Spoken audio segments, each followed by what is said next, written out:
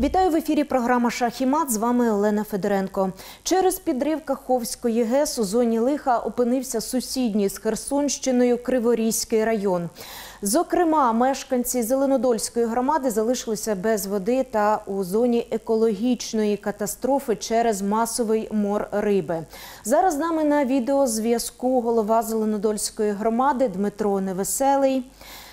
Пане Дмитре, ми вас вітаємо. Дякуємо, що долучилися до розмови. Тож, якою нині є ситуація у громаді з водою, де у яких населених пунктах найскладніше? Да, доброго дня, вітаю. Е, Ситуація на зараз е, більш-менш стабільна в нашій громаді. Е, Зараз є проблематика лише в одному населеному пункті нашої громади це село Мар'їнське. І поки що в одній частині тільки села. Інша частина села ще качає воду, залишки тієї води, яка залишилась в системі. Ми її можемо надавати людям. Але ми не чекаємо, коли вона повністю зупиниться. Ми облаштовуємо повністю пункти по видачі питної та технічної води в селі Мар'їнське. Питна вода вже роздається людям бутильована. Але ми намагаємося зробити такі пункти і стаціонарні пункти, які будуть знаходитись на постійній основі по нашим населеним пунктам громади, які буде постійно підвозитись технічна та питна вода для того, щоб мешканці відчували себе в безпеці і забезпечені питною та технічною водою для своїх нужд.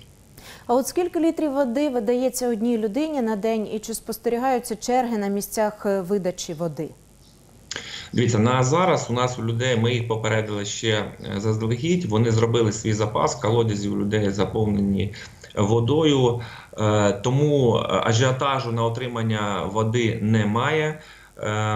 Лише є, ну ми видаємо по 6 літрів питної води на одну особу і розраховуємо по 10 літрів технічної води на одну особу на добу. І ми будемо працювати по цьому графіку. Але зараз такої потреби немає. У нас є номер гарячої лінії, на яку люди можуть звернутися для того, щоб ми могли забезпечити їх водою в разі неможливості прийти. Це маломобільні люди, які не можуть самі прийти, отримати цю воду на місцях роздачі. Тому ми облаштували. Гарячу лінію, яка працювала в нас спочатку військової агресії, і через цей номер можна буде зателефонувати, представитись, дати свою адресу, і наші представники комунальної служби та добровільчого формування привезуть цим людям додому цю воду. А от власне, як із запасами технічної води у комунальних підприємствах, ми чули, що у трьох громадах Криворізького району введено жорсткий режим економії. Так це чи ні? Так, у нас введен режим економії є, але не такий жорсткий, Жорсткий, так як у нас є можливість реверсу запитувати з нашого технічного водосховища, яке розташоване у місті Зеленодольськ. Але у нас так само є свій ліміт по використанню цієї води. Тому ми зараз не даємо на дачні кооперативи можливості для поливу дачних ділянок.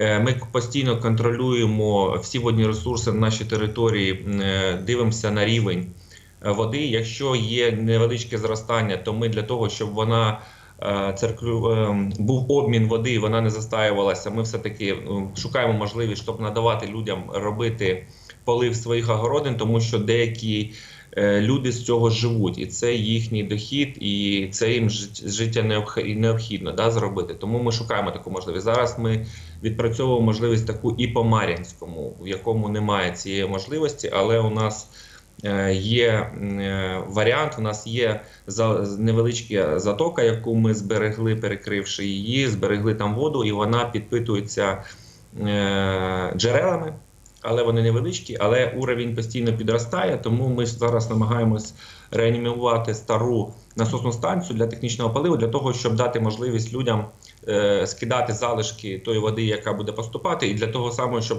був обмін води в цьому ставку, щоб вона не застаювалася, для того, щоб люди могли, хоч трошечки використовувати на своїх огородах, тому що Мар'їнська це територія для нас дуже важлива, вона аграрна. Там в основному люди живуть з парників, вирощення ягід, малини, клубники, клубніки, ожини, навіть кукурудзи сахарної і того того подібного. Да? І наша задача все-таки підтримати людей не тільки водою, але і їхнім допомогти їм зберегти врожай. Так зараз е, пане Дмитре МОЗ е, постійно попереджає про високу ймовірність виникнення е, інфекційних кишкових захворювань. От як у вас в громаді за підситуацією, якою є якість води і чи не хворіють люди? Ситуація стабільна. У нас є своя ліцензійована лабораторія води. У нас водоподготовка в місті Зеленодольськ, У нас є своя лабораторія, і ми щодня з усіх своїх е, водних ресурсів беремо аналіз і спостерігаємо. За составом е, нашої води, яка у нас знаходиться на території громади, тому ми повністю це контролюємо. Наша лабораторія працює постійно, щодня беруться аналізи, і ми контролюємо ці процеси. Тому на даний час все безпечно. Люди е, можуть бути спокійні, що ми контролюємо ці процеси. Одне із ключових питань, якими є масштаби екологічного лиха для громади. Ну я думаю, масштаби екологічного лиха це не тільки е, лихо громади, це лихо всієї нашої держави. Е, на даний час е, був випадок, коли був е, виявлений випадок мору риби, е, але він е, лікалізований згідно протоколу екологічної комісії області. На даний час таких випадків не виявляється. Постійно йде контроль е, і з поліція, і добровільче формування постійно. Е, Вони патрулюють узбережжя Каховського водосховища для того, щоб люди, по-перше, не виходили на відкриту територію е, там, де відійшла вода, тому що є вибухонебезпечні предмети. По- По-друге, щоб е, не дай Боже, не почався обстріл, люди не зазнали ушкоджень, тому що агресор ще поряд все-таки з нашою громадою. От е, через таку напружену ситуацію з водою, е, мінну небезпеку ви говорите через е, ймовірність розповсюдження інфекційних захворювань. Як налаштовані мешканці громади? Чи не виїжджають вони туди, де принаймні є вода? Ну на даний час ми робимо все можливе для того, щоб наші люди не відчули дуже сильно цієї проблематики, з якою ми зіштовхнемося. Ми для цього і потрібні міська в чи влада, да, для того, щоб ми допомагали своїм людям. На даний час такої ситуації немає, але ми не можемо передбачити, що буде в майбутньому, тому що Е, Ми будемо дивитися, спостерігати, що буде відбуватися з нашими колодязями, з нашими скважинами, які є на території, тому що є випадки сусідніх територій, де зі скважин вода все-таки починає уходити. Дякую вам, пане Дмитре, що були з нами на відеозв'язку. Дякую, що долучилися до розмови. Дмитро Невеселий, голова Зеленодольської громади, був з нами на відеозв'язку. Далі розмову продовжимо в студії.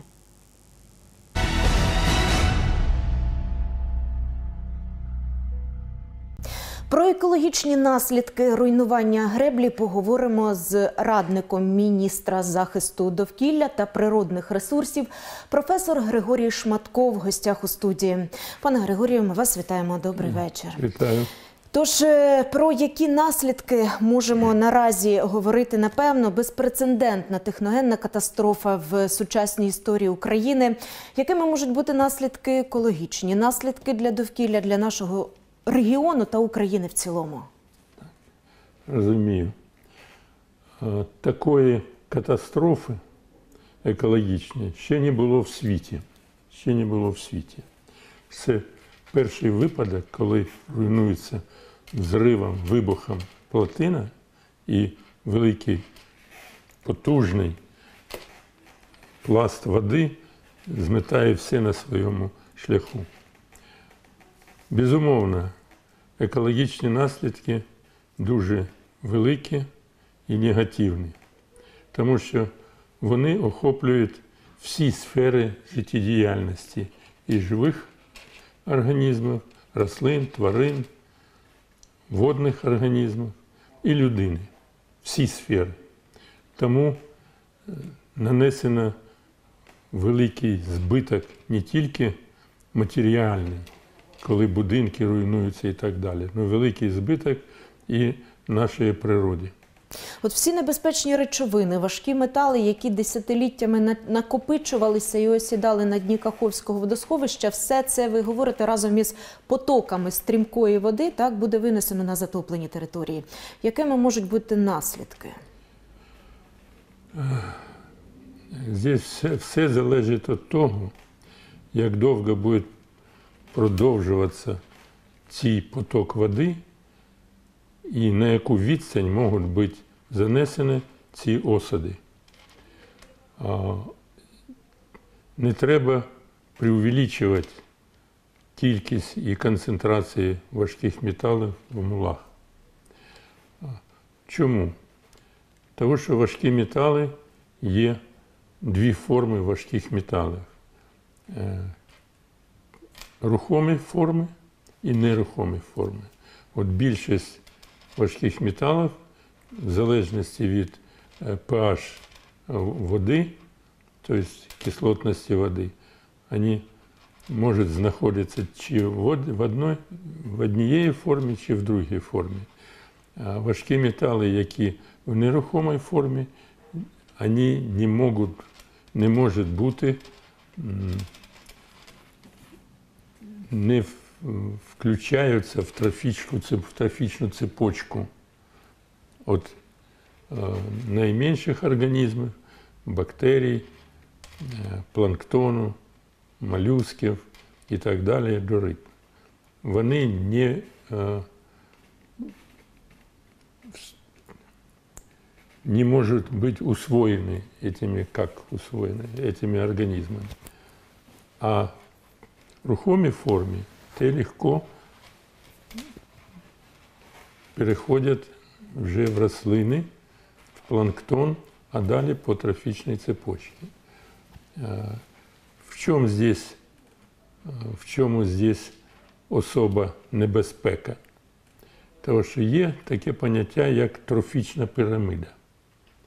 Трофічна пірамида це низка організмів, які послідовно використовують нижчих організмів в свою їжу. І е, на кожному ланцюжку, цей, цей низький е, ланцюжку, ми маємо десятикратне збільшення концентрації. Е?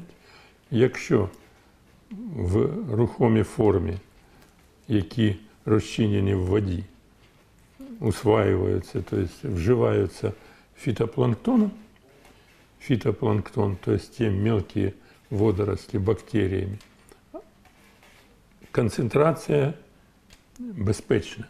Але вже коли їх поїдають малі риби, молюски, концентрація підвищується в 10 разів. Наслідом мальки, їми можуть вживати їх е, великі хищники там.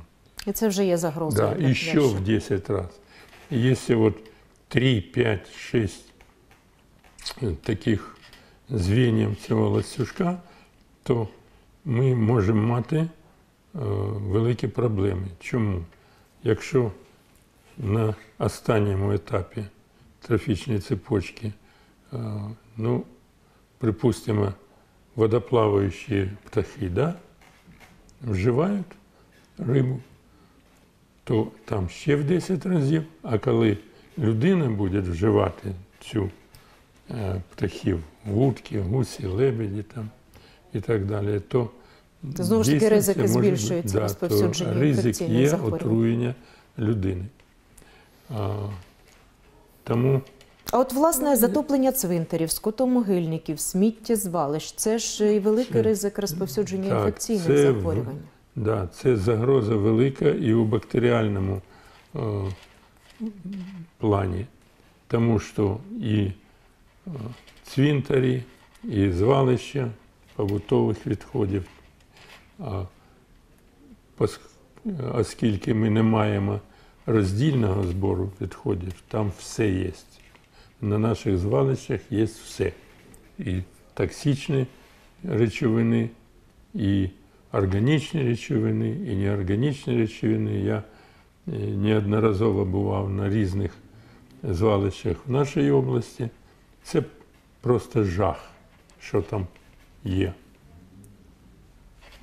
Я можу продати, що там є. Тому дійсно, якщо е, водний потік зміє хоча б частину звалища, це загроза і хімічна, і епідемічна загроза. Епідемічна. Тобто там може, е, бо на будь-якому звалищі є криси, є гельмінти токсичні, опасні, небезпечні. І Що можна зробити, яких заходів вжити, щоб уникнути цих е, катастрофічних наслідків розповсюдження Ну, небезпечних інфекцій? Та- та. Е, Це не вживати е, питну воду недоочищену і тільки після кипячення її можна вживати, тому що вони дуже стійкі, е, ці, е, небезпечні мікроорганізми, дуже стійкі к умовам навколишнього середовища. А тільки кипячену воду або про Бутильовану природну. використовувати спеціальні фільтри. Такі фільтри є, е, які вже в себе мають е, ті речовини, які е, убивають ці мікроорганізми. Тобто можна пити. Такі, но это, е, таких фільтрів е, небагато. Імісно їх використовують е, в основному робітники МЧС, які попадають, либо якщо це е, бійці е, і хімічна атака була, їм видають спеціальні трубочки і піть воду через ці трубочки, вже вода становиться Безпечно. небезпечною. Да. От, е, власне, е, ми знаємо, що вода зійде, затоплені колодязі та водозабори. Скільки має пройти часу, щоб вода стала придатною для вживання? Важко е, говорити про це Да, зараз. Це дуже важко, тому що не було таких випадків. У нас нема, наприклад, нічого ми не знаємо. У нас е, в нашій області це інша небезпека, що води немає в колодязях. Да, Криворізький під- район, води немає, Нікопольський да. район. Там і із скважин вода йшла глубже, е, на більш велику глибину. І в колодязях немає води. Треба, ну, зараз вже підвозять питну воду. Селища, села, е, в, в Нікополі, в Марганці возять. А що буде далі, треба встановлювати. А от е, які ризики для Дніпробузького лиману, для акваторії Чорного моря? Зокрема, е, національний е, Нижньодніпровський природний парк, який розташований нижче Каховки. Що буде з ним? Я э, біолог-еколог вам скажу откровенно. Все буде добре. Чому? Оцей стислий термін, коли пройде все, да, стабілізується, і природа має три е, признака жива природа. Це саморегулювання, самообновлення і э, самовоспроизведение, понимаете? І если, якщо ми не будемо вмішуватися, природа восстановиться. Природа знає краще. Є закони Баріка Монера, які чітко говорять. Я неодноразово був в Чорнобильській зоні, яка після отої катастрофи атомної, та, там дійсно було нанесено великий урон. Був так називаємий рудий ліс. Я бачив цей ліс. Все згоріло від радіації. Зараз там рай для травин і для рослин. Відновилася природа. Абсолютно наоборот, она э, расцвела. Там едешь по трассе в зоне и таблички. Уважно лось, уважно олень. Там рыси появились, медведи. Это в нашей территории, Чернобыльской зоне. Такі види там е, велика різноманітність різних видів животних, рослин. Тому і е, в водоймі в Дніпрі, а Чорне море так велике, що е, воно може прийняти на себе цей удар, і нічого страшного, на мій погляд, з Чорним морем не буде. Деякий час прибережні території, там, де ліман зливається вже з Чорним морем, по, на березі, на одному, на другому, на островах можуть бути наслідки от тих всіх а, руйнування будівель, забруднень, все це буде. Но пройде десь який термін і все нормалізується. Жива природа сама себе відновлює.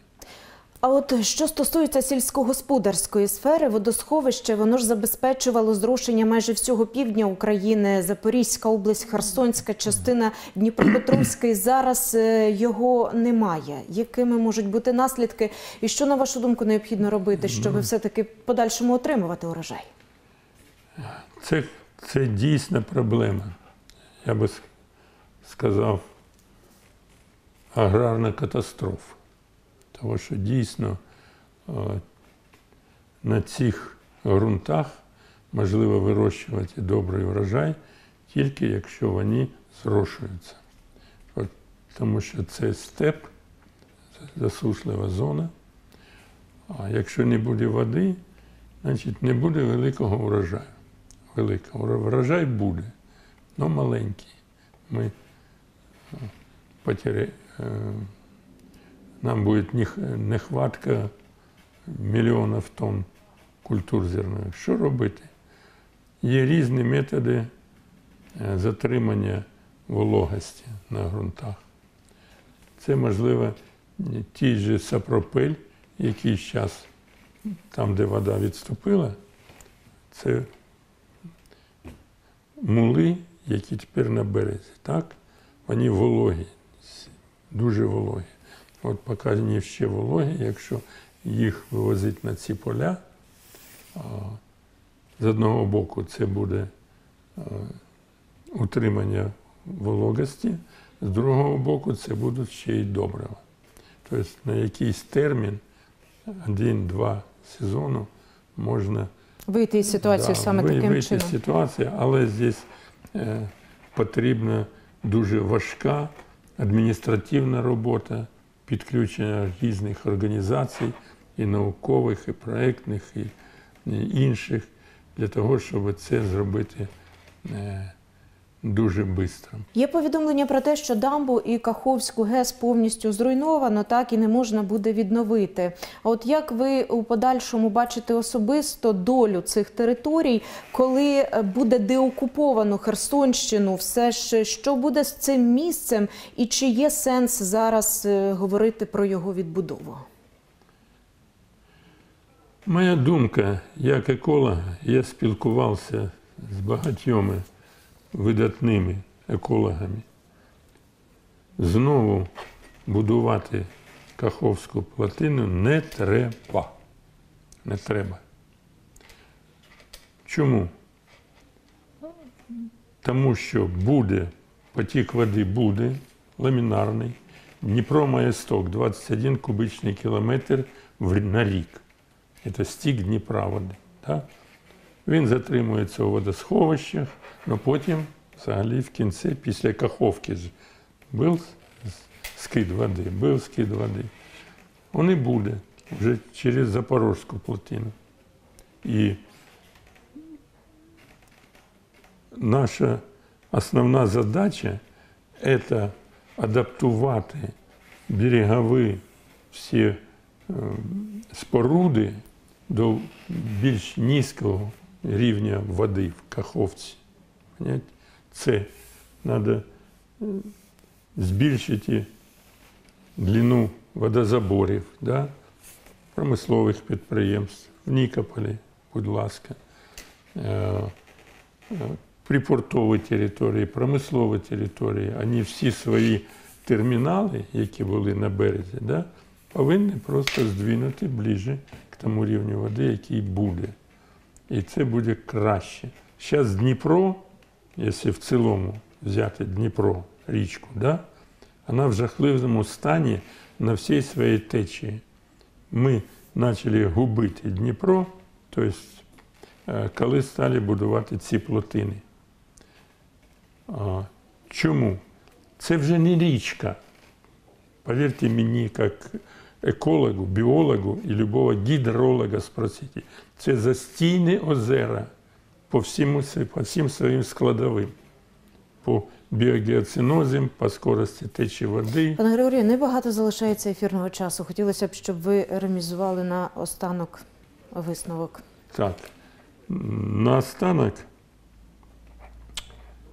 о, на мій погляд, плотину знову будувати не потрібно. Потрібно адаптуватися к тій ситуації, Яка склалася? яка склалася е, зараз. Е, Адаптуватися і до Запорізької плотини, там рівень ФД остався, все, від Запорізької і нижче, да? і після Каховської плотини в Херсонській області. Адаптуватися. Адаптуватися треба нашій спільноті, нашій громаді, так? всім зацікавленим, зацікавлена кожна людина, а е, залежить все це від того, які будуть, наскільки вивірені будуть адміністративні рішення, як, які заходи будуть прийняті для того, щоб нормалізувати ситуацію. А природа, флора і фауна, ви сказали, відновиться з Да, часом це обов'язково. Дякую, що ви сьогодні були в гостях у студії. Я нагадаю, радник міністра довкілля, професор е, Григорій Шматков був сьогодні в гостях у студії. Цю програму, а також наші інші авторські проєкти та розмовні студії ви зможете переглянути у Ютубі. Долучайтеся і обов'язково підписуйтесь.